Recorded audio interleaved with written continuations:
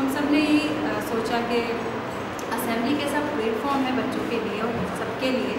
सीखने का एक ऐसा प्लेटफॉर्म है जहाँ बच्चे खुलकर अपनी बात को कह पाते हैं बिना किसी हिचकिचाहट के साथ में। और लिसनिंग से भी जुड़ा हुआ है कि हम दूसरों की बात को कितना तवज्जो दे पाते हैं, कितना उनको सुन पाते हैं, उनसे कितनी जानकारी ले पाते हैं, और अपने किसी भी अनुभव को कितना फ्रीली फ्री एक्सप्रेशन के साथ में एक्सप्रेस कर पाते हैं। और ऐसी कौन सी चीज़ है जो हम क्लासरूम से हटकर वहाँ करना चाहते हैं ताकि दिन की जो शुरुआत हो, बेहद खुशनुमा हो, हमारा पूरा दिन पूरा अच्छे से मस्ती से निकले। तो इसी सोच को लेकर हम थोड़ा आगे बढ़े तो हमने ये सोचा कि जब हम ये चाहते हैं कि है क्या असेंबली देखते हैं तो कि क्या क्या इसमें जुड़े जुड़े चीज़ें। तो हमने ये तय किया कि थोड़ा बच्चों से भी निकल के आया क्योंकि जब हमने कमेटी बनाई सेवन कमिटीज़ हैं हमारे स्कूल में, उनमें से एक कमेटी असेंबली की है। उसमें कुछ बच्चे सदस्य होते हैं और टीचर और हम सारे टीचर होते हैं। तो उन सबने मिलकर हमने ये देखा कि इसमें कहानी भी आनी चाहिए, कविता भी आनी चाहिए, गाने भी होने चाहिए, अभिवादन, गीत भी होने चाहिए। पर और क्या होना चाहिए ऐसा? ताकि सब बच्चों को मौका मिले कुछ करने का। तो हमने सोचा कुछ जानकारी इकट्ठी करने के शोध भी होने चाहिए, जिसे और बच्चों के लिए ऐसा खुला मंच होना चाहिए, कहने सुनने के लिए। थोड़ा सा बंदिश ही नहीं होनी चाहिए कि ये ऐसा का ऐसा परोस दिया जाए और बच्चे करने लग जाए। ऐसा खुलापन होना चाहिए जिससे बच्चे यहाँ पर आए, प्रस्तुत करें और सबको जानकारी मिले या सबको सोचने का मौका मिले, सबको कहने का, सुनने का। एक ऐसा मंच मिले तो अभी जो हमारी असेंबली है वो सप्ताह में सोमवार से शनिवार तक चलती है। उसको भी उन्होंने डिज़ाइन किया है। ग्रुप ने मिलकर टीचर्स ने मिलकर। कि सोमवार को बच्चे क्या करेंगे, मंगलवार को क्या करेंगे और यहाँ शनिवार तक। उसमें जो मुख्य रूप से जुड़ा है, कविताएँ हैं, बच्चों की जो बच्चे खुद लिखते हैं, सुनते हैं, पढ़ते हैं, चाहे वो गाँव से हो, उनके परिवारजनों से हो, चाहे यहाँ स्कूल से हो, कहीं से भी हो, या खुद की बनाई हुई भी हो। ऐसी घटनाएँ जो उनके अनुभव से जुड़ी होती हैं, जिसको देखकर वो सोचने लगता है कि ऐसा क्यों हुआ?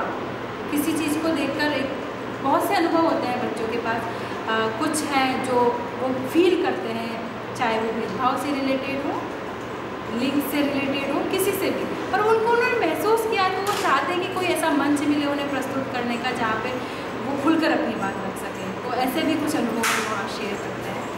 तो हमने सोमवार को ये सोचा है तय किया है कि बच्चे अभिवादन गीत करेंगे और टीचर्स भी इसमें शामिल होंगे पूरी तरीके से। अभिवादन गीत करेंगे। मंगलवार को वो कविता कहानियाँ करेंगे। तो स्वरचित हो, सुनी हो, पढ़ी हो, जो भी हो। उसके बाद में वो बुधवार को ड्रामा और नाटक करेंगे। उसके बाद गुरुवार को पूरा इंग्लिश डे होगा। इंग्लिश में ही वो शब्द बोलेंगे, इंग्लिश में सेंटेंस बोले या कुछ भी बोले, पर वो इंग्लिश में ही प्रेजेंट करेंगे। चाहे वो टीचर हो, चाहे स्टूडेंट हो। और फ्राइडे का दिन उनका इंटरव्यू का होगा। जो बच्चों ने खुद ने जनरेट किया है कि कोई ऐसा पक्ष होता है जहाँ किसी से संवाद कर पाते हैं, प्रश्न पूछ पाते हैं, उनके जवाब मिल पाते हैं। तो वो कुछ तो अनुभव होते हैं जो खुद करते हैं, कुम्हार से बातचीत करके आए, वो एक ऐसा उदाहरण हमारे पास है। या फिर एक लोक कथाओं का हमारे पास में है कि गाँव से कुछ वो करके लाए हैं और वो यहाँ पे प्रेजेंट किए हैं। या अपने बुज़ुर्गों से ये पूछ कर आए कि हमारे बबोर गाँव कैसे बबोर गाँव का नाम बबोर पड़ा है? इस तरीके के जो भी है गाँव से संबंधित, उनके जो भी प्रयोग है वो सब कुछ पूछताछ जिससे भी उन्होंने करी उसको शोध बनाकर एज इंटरव्यू उन्होंने डेमो के तौर पर वहाँ पे करा। तो ऐसा वो शुक्रवार के दिन कर, करना चाह रहे हैं।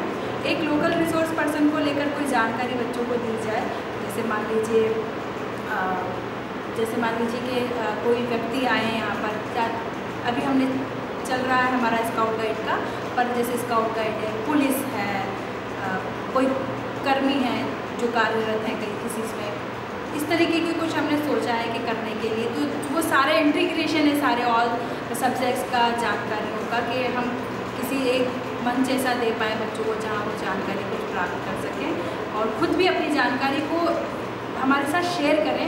उसके लिए हमने उन्हें असेंबली में पाँच से दस मिनट का एक समय दिया है, खुला मंच जिसे कहा है उस खुले मंच में वो सप्ताह के अंत में टॉपिक्स डिसाइड करते हैं बच्चे ही और वो सब, अगले सप्ताह की शुरुआत मंडे से ही शुरू हो जाता है वो उस सफ़र बच्चे की चॉइस होती है, वो बच्चा खुद हैंड रेस करके हमें बताता है कि हम टॉपिक्स पर कुछ बोलना चाहते हैं।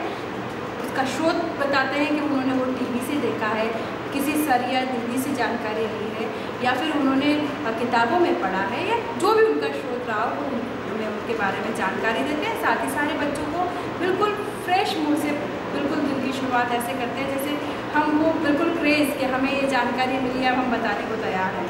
तो वो बताते हैं शेयर करते हैं। अभी हमारा सफ़र ऐसे ही चल रहा है।